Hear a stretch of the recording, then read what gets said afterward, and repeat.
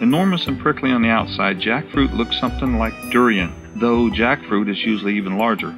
Once a jackfruit is cracked open, you'll find inside pods or bulbs, often referred to as seeds.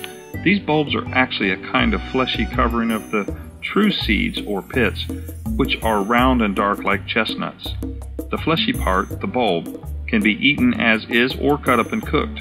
When unripe in the green, it is remarkably similar to the texture of chicken. This fruit is so big. I have a big hand, but look at the size of that. And then when you cut it up, it smells and tastes like cantaloupe and um, pineapple mix. Very tasty. Very good fruit. I forgot what you what do, what do you call this? Uh, the the fruit, the kind of fruit, jackfruit. Hmm? Jackfruit. G A C K. Jack. Okay, thank you, sir. Jackfruit. He's a very important man here.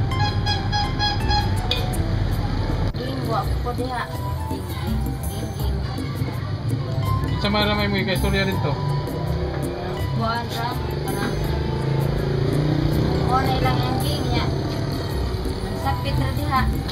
You notice how he's separating that. He's not using all of it. He only uses a certain amount. Some goes in the good, some goes in the bad. The bad's down there.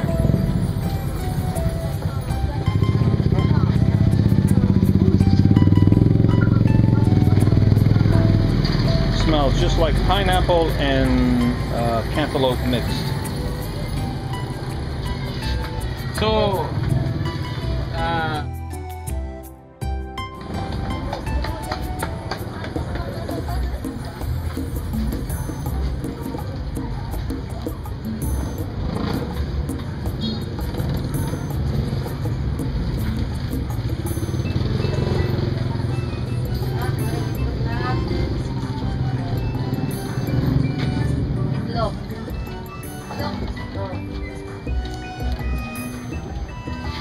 di man po kamukhaon na ni.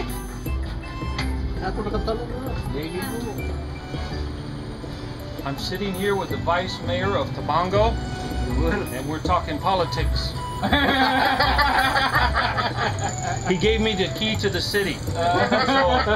So, To enter politics. yes.